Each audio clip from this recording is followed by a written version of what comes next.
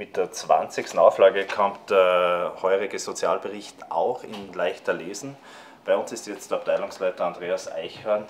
Ist für euch etwas Überraschendes dabei gewesen heuer? Wir sehen im 20. Sozialbericht heuer einen guten Vergleich der Zahlen. Insbesondere im Bereich der Mindestsicherung und im Bereich der Grundversorgung kann man aus diesem Bericht entnehmen, dass die Fallzahlen erstmals seit vielen Jahren wieder rückläufig sind wenn man sich jetzt interessiert, was sozusagen im Sozialbericht drinnen steht, kann man den irgendwo auch als Bürger bekommen? Selbstverständlich. Der Bericht kann bei uns angefordert werden, in Druckversion, aber auch online abrufbar auf der Homepage des Landes Salzburg finden Sie diesen Bericht.